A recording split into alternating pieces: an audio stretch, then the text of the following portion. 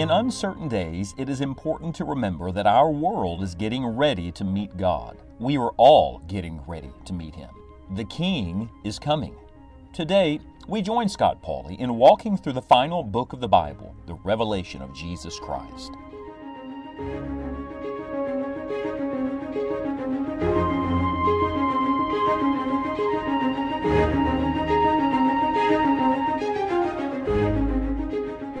God will always have the last word.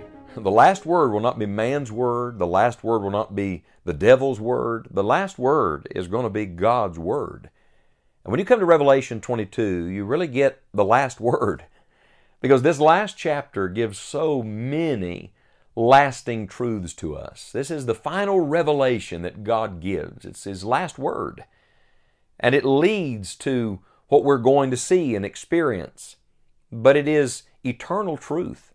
And before we end our study, I'd like to just back up, if you'll permit me, and give you an overview of this last chapter because I think we need to keep it fixed in our mind. Get the big picture. It begins this way in Revelation 22, verse 1 And he showed me. And he showed me a pure river of water of life, clear as crystal, proceeding out of the throne of God and of the Lamb. It begins with eyes open, revelation, unveiling. Oh Lord, show us this. Give us a clear glimpse of it by faith now, and Lord, come quickly. We, we want to see this. And I love the fact it begins with purity, it begins with peace, it begins with every good thing coming out of the throne of God and of the Lamb. So, in the first five verses of Revelation 22, we get the last picture. And what is that picture? It's a picture of home. I would challenge you today read Revelation 22, 1 to 5 again, and just meditate on home. There's nothing like home. I travel all the time. There's no place like home. There's nothing like getting home. And I'm going to tell you, if that's true on earth, how much more for those of us who are strangers and pilgrims? We're just passing through, and we're in the home stretch. Friend, make sure you're going with us. And then, if you are, start living like it and imagine what it's going to be like. The hymn writer wrote, Just think of stepping on shore and finding it heaven of taking a hand and finding it God's, of breathing new air and finding it celestial, of waking up in glory and finding it home. He gives us this last picture so that we will think more of home than of here. May God help us all to set our affection on things above, not on things below. I, I saw a video some time back of a of a 66 year old man from New York who was born colorblind. And while that's not the, the most awful thing in the world, I have family members who are colorblind, and I know there are great limitations in it and great hindrances in it. And this man was given special sunglasses to see color for the first time. I watched that video of this man like a child jumping up and down, clapping, weeping, because he saw things as he had never seen them before. Imagine what we're going to see.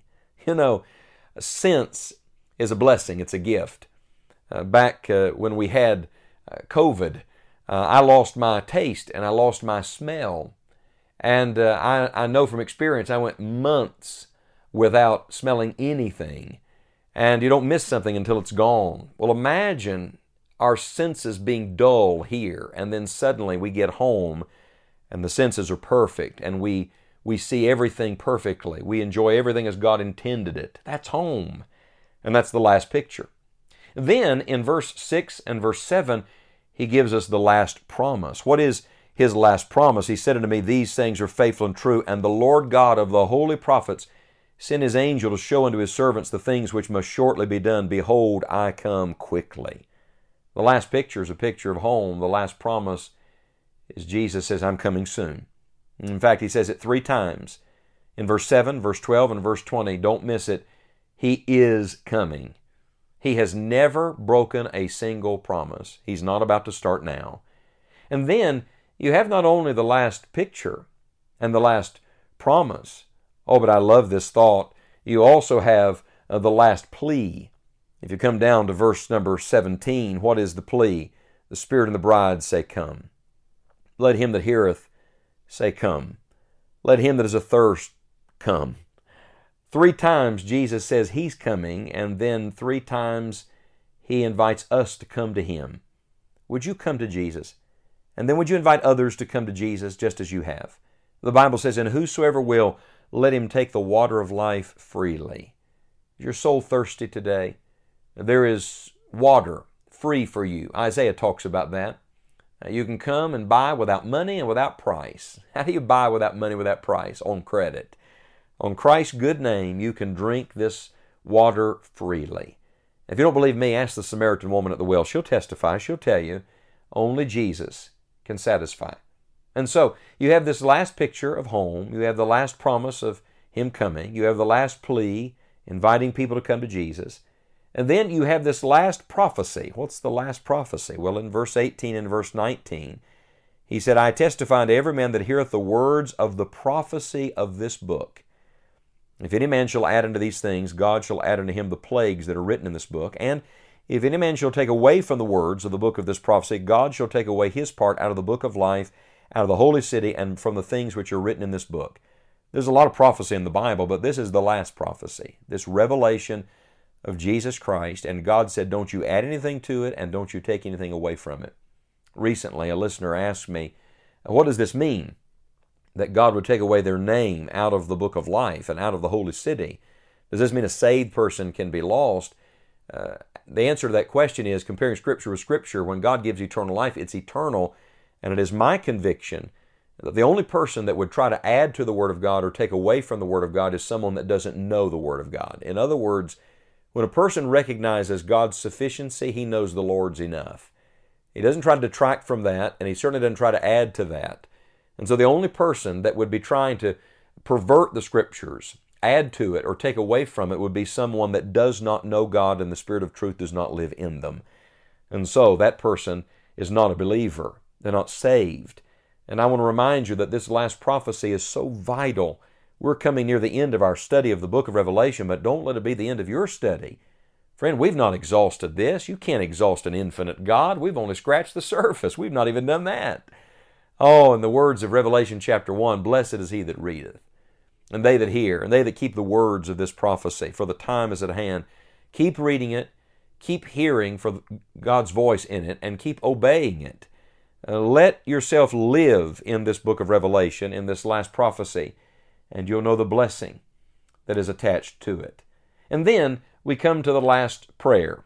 The last picture is home. The last promise is He's coming soon. The last plea is come to Jesus. The last prophecy is this revelation of Jesus Christ. And then the last prayer.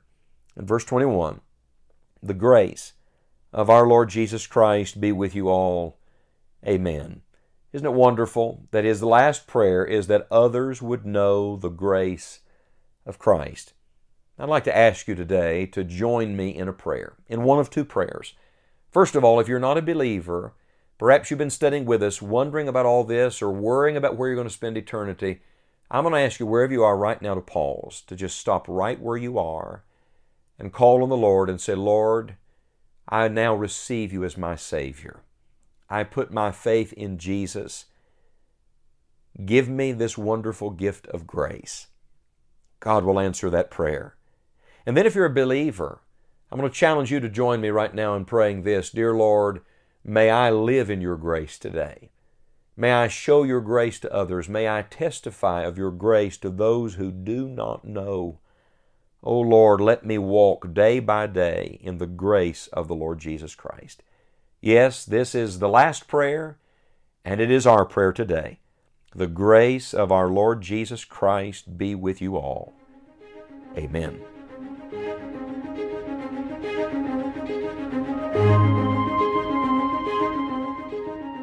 The purpose of all Scripture is to see God. In Revelation, the curtain is pulled back, and we are reminded not to simply look at world events, but to look to Christ.